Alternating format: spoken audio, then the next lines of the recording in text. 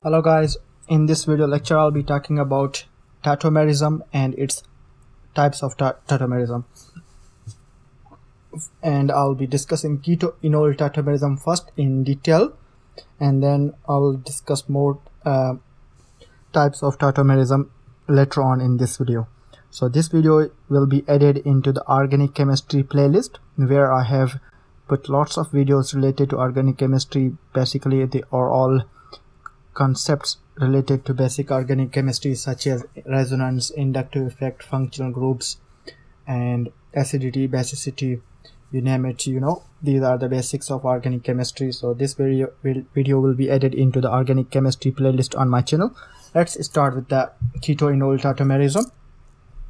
So as the name indicates keto means ketone and enol means a functional group which contains en and ol ene means alkene and ol means alcohol okay? That's why we are calling it in enol again en e ene means double bond alkene and ol means alcohol. Have a look at this.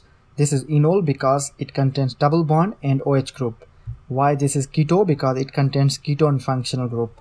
So this is keto. Now the tautomerism is uh, just shifting of protons or switching of protons look at this ch3 remains ch3 of the left hand side. Oxygen gets the proton one hydrogen and one hydrogen is shifted from this ch3 towards oxygen. The shifting of proton or the transfer of proton internally within the structure within the same molecule is called tautomerism so keto form is electrophilic electrophilic means electron deficient species. Any nucleophile can attack on the carbonyl carbon of the keto and enol form is a nucleophilic because we have oxygen which provides extra electron and pi pi bond is also there. So electrophilic means it reacts with nucleophiles at carbonyl carbon acidic at alpha carbon. So the carbons which are next to carbonyl group carbonyl group is carbon double bond oxygen. So as carbons which are next to alpha carbon are called acidic carbons and hydrogen act as bond acceptor whereas enol form is a nucleophilic in nature it reacts with electrophile at alpha carbon. So that's the alpha carbon which can take on any electrophile and this can act as a nucleophile. And these are the acidic at oxygen. This OH group is acidic hydrogen bond donor and acceptor. So oxygen uh, has, having free lone pair of electrons can act as a donor or hydrogen bond donor so equilibrium between isomers not resonance. Under most conditions keto form is favored. Important for aldehydes ketones but not so much for carboxylic acids esters and amides under normal conditions. So normally speaking keto form is most stable than enol form but in some cases enol form is more stable than keto form we will see in detail later on in this video how uh, how and where enol form is more stable than the keto form let's move on and the factors that uh, affect the tautomerism are aromaticity and hydrogen bonding. So for example phenols can theoretically exist in their keto form but the enol form is favored due to aromatic stabilization. So that's the case where enol form is more stable than the keto form due to aromaticity because when we have a phenol which is in enolic state it is aromatic hence it's more stable whereas the keto form of the phenol uh, is less stable or is not absorbed at all because it's not aromatic. The reason why phenol is more uh, stable or the enol form is more stable because of aromatic character in present in the phenol. Second case is the hydrogen bonding so hydrogen bonding uh, plays an important role in determining which form is going to be more stable either keto form or the enol form. Have a look at this structure. This is 1,3 dicarbonyl compound. So it's a 1,3 diketone this is the methyl group which are uh, acting as alpha carbon. So it still supplies when CH3 groups are replaced by alkyl OR NR2 etc but the ratio will be different. So in water we have 24% keto form and 76% enol form this is another case where enol is more stable than the keto form but generally speaking uh, enol form is less stable than keto form but there are some cases where enol form is more stable than the keto form first one was aromatic T second one is hydrogen bonding now if we have a keto uh, enol form of this structure then we have we would have this intramolecular hydrogen bonding that makes a cyclic structure and it's stabilized through hydrogen bonding. This enol form is stabilized through hydrogen bonding hence it's more stable. Equilibrium is will be favored in the direction of enol form rather than the keto form. That's why enol form is more stable due to the hydrogen bonding. When a Lewis acid group is present hydrogen bonding stabilizes the enol form this can shift the equilibrium almost completely to the right so these are the two cases where the enol form is more stable, but generally speaking, keto form is more stable. Case number three, that is the solvent effect. So again, you, you have this 1,3-diketone functionality, but if you are using uh, benzene as a solvent, then we you would have a 6 to 9 ratio of keto enol. Hydrogen bonding solvent will make lone pairs less available for bonding. If you are using water as a solvent, then you will have a enol form uh, keto form more stable and enol form more less stable so if you are using non-polar solvent like benzene then enol form is more stable if you are using polar solvent such as water then keto form is more stable in the same structure that's the effect of solvent on the keto enol tautomerism that's the effect number three. The number one effect was aromaticity number two effect was hydrogen bonding. And number third effect we discuss we are discussing right at the moment is solvent effect. And number four is the conjugation effect. For example structure a is in the keto form and these structures are in enol form. Okay? Now if you look at this double bond is in conjugation with phenyl. And here double bond is not in conjugation with phenyl which enol form is favored for the ketone a that's the question i'm asking you guys to answer. So what will be the effect of conjugation on the keto enol form? The question is in structure A is a keto form that could adopt either this one or this one. But in the first one, this case, double bond is in conjugation with phenyl ring. In the second case, double bond is not in conjugation with a phenyl. Case number 5 is substitution. Which ketone will favor the enol form more, A or B? that's also a second question i'm asking you so you need to answer these question number four, uh, four and five in the comments below in this video i'll try to answer uh, your questions if you have different answers or if you have more difficulty answering these questions okay let's discuss more types of tautomerism widely studied uh, tautomerism is keto enol tautomerism. That's the one.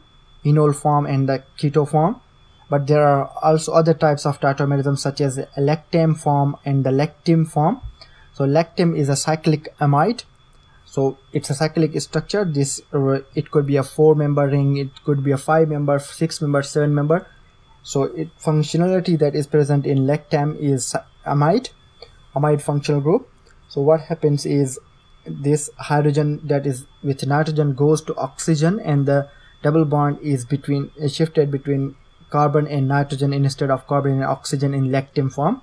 That tautomerism is called lactam form and lactim form tautomerism. And next type of tautomerism is amide form and imidic acid form. So this is amide functional group.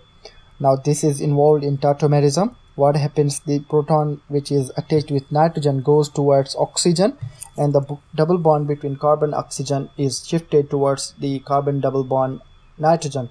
So that's the imidic form that is the tautomeric form of the amide. This is a secondary amide which is which tautomerizes into imidic form. That is the third type of tautomerism. First one we study is keto enol form, second one we study is the lactam lactam form, and third one we are discussing amide and imidic form. And the next one is amine and imine form.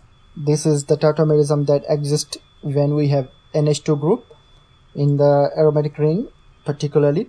So amine contains two hydrogens attached with nitrogen. What happens is one of the nitrogen um, picks the uh, one of the hydrogen from the nitrogen goes towards the ring nitrogen and the double bond between this nitrogen inside the ring moves towards the outside the nitrogen and that's how we have imine functional functionality imine functionality is carbon double bond nitrogen having hydrogen. That's imine and amine amine is nh2 that is another type of tautomerism that is amine and imine and we already discussed the keto enol tautomerism and we also discussed in which cases in what situations enol form is more stable than the keto form. Okay let's move on. This is imine and enamine tautomerism so imine and enamine tautomerism what happens is imine picks the proton and then tautomerizes into enamine so enamine is carbon having single bond with nitrogen and carbon having double bond with carbon. But in imine we have a carbon double bonded nitrogen. That is the difference. This is the imine form in amine form and that is the tautomerism is a change in position of hydrogen atoms or proton prepared with a shift in the position of a pi bond. In this mechanism the imine has a hydrogen at the carbon alpha to the cn bond. This this proton is lost to create the enamine that's the mechanism of imine enamine tautomerization. So that's the mechanism of imine and enamine tautomer tautomerization. Next type is cyanamide and carbodiimide tautomerism. This is nitrile which tautomerizes into this carbodiimide. If you see closely have a look at the closer closer look at this structure. There's a triple bond between carbon and nitrogen which switches into carbon double bond nitrogen on both sides. So carbon makes two double bonds with two nitrogens one on the right and one in the left. That is carbodiimide and that is another type of tautomerism next is guanidine. Guanidine guanidine tautomerism so this is a guanidine guanidine is a functionality having nh2 group and nh group and carbon double bond nitrogen group that is uh, that tautomerizes this double bond between carbon and nitrogen tautomerizes towards this nitrogen. This nitrogen donates this proton to the nitrogen which is attached with r and the double bond is shifted toward that nitrogen. That is guanidine guanidine. And next is also guanidine this double bond shifts towards this nitrogen and this nitrogen that's the proton. So this is the triple guanidine tautomerism that exists in the guanidine functionality. Okay let's move on to the next tautomerism.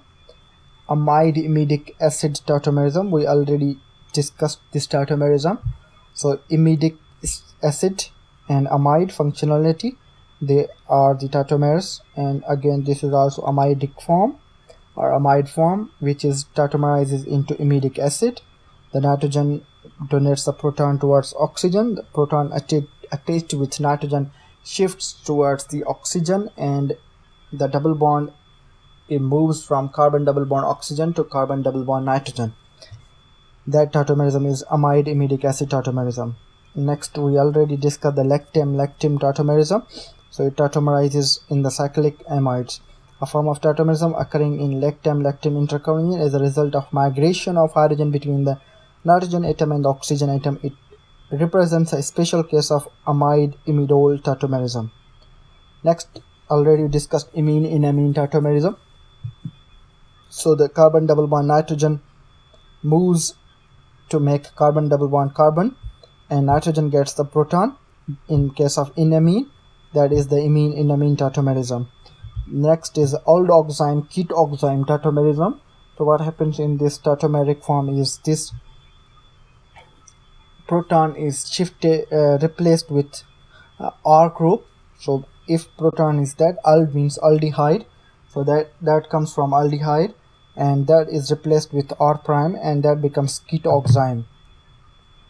Next type of tautomerism is nitroso-oxime tautomerism.